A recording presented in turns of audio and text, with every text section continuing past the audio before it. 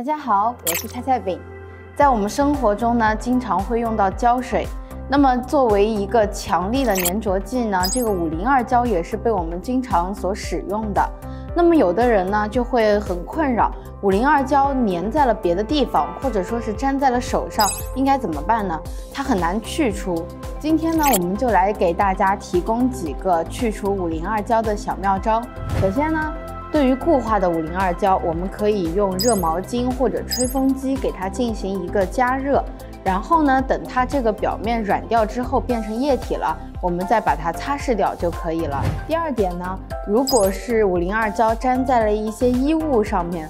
我们可以考虑把这个衣物放进冰箱里面冷冻一段时间，等到这个五零二胶呢比较变得坚硬冷冻了，然后呢我们再把它剥离下来就可以了。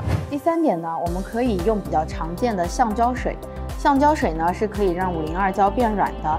等到五零二胶被橡胶水冲软了之后呢，我们拿一块布把它擦掉，然后呢我们再用一些洗剂把这一块给清洗干净就可以了。第四点。绝缘油也是可以去除五零二胶的，一些变压器里面的那些绝缘油呢，嗯，我们把它倒在五零二胶上面，沾一点，然后等到它变软之后，把它去除掉。